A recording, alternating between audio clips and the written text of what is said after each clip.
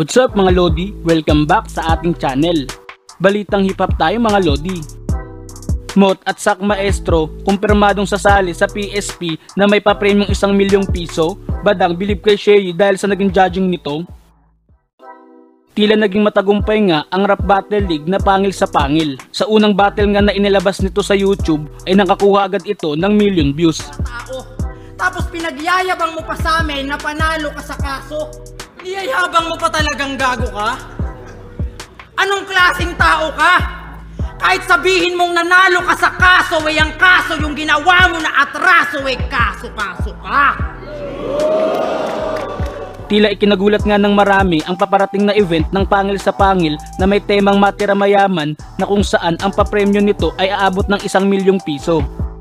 Sa naging post nga ng founder ng PSP na si Mr. Pibus ay kinumpirma nito na makakasali sa kanilang liga ang matagal nang inaabangan ng mga fans ng battle rap na si Mot.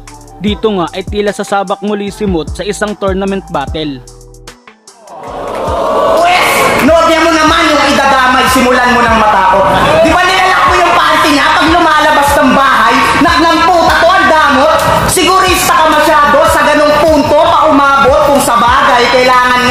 Ikandado pag kung sino-sino pumapasok. Kinumpirma din ni Mr. Pibus na makakasali ang isang veteranong battle MC na si Sak Maestro. Sa ibang balita naman mga Lodi, Badang napahanga kay Sherry sa ginawang judging nito sa laban nila ni Kram.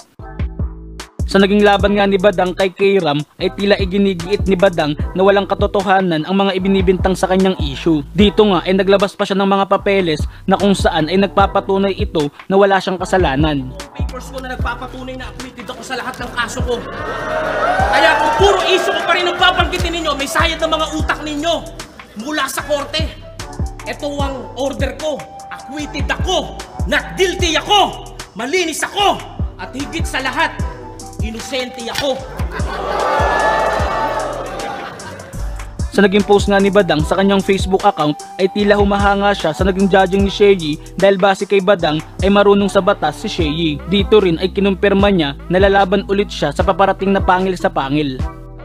Alam mo yun, may mga sinasabi kasi talaga si Badang na totoo. Gaya nung pinaglalaban niya talaga na totoo sa kaso niya. Ah, all throughout the battle, pinaglalaban yun. And it's true. Ah, everyone should be ah, innocent until proven guilty. K- kasi siya, na, na ano siya eh, nag-undergo siya ng trial by publicity. Maganda rin siyang gamiting example ah, sa mga nangyayari, ah, lalo sa era ng social media, na kung sinong mang mapagbintangan, guilty kagad, eh, which is a very dangerous ah, thing.